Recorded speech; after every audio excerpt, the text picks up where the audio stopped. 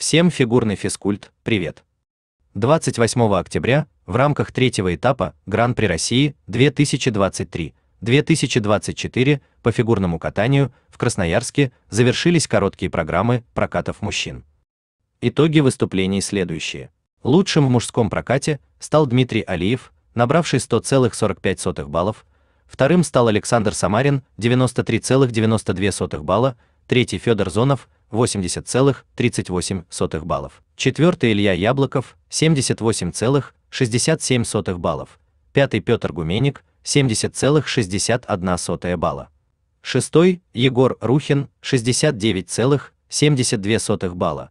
Седьмой Арсений Дмитриев 63,24 балла.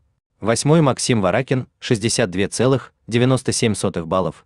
Девятый Кирилл Сарновский 60,15 баллов и завершил выступление десятым по списку Данил Федосимов, он набрал 56,92 балла. Завтра, 29 октября, в 9 часов, ровно мужчины исполнят произвольные программы. Следите за моими новостями. В прямом эфире весь этап покажут в онлайне сайт Первого канала и кинотеатр Ока, телеканал Первый покажет только лучшие выступления, начало в 15 часов 20 минут. Пожелаем нашим фигуристам удачи и успехов в выступлениях и, конечно же, новых побед и достижений. Всего хорошего, до встречи на канале Все и вся.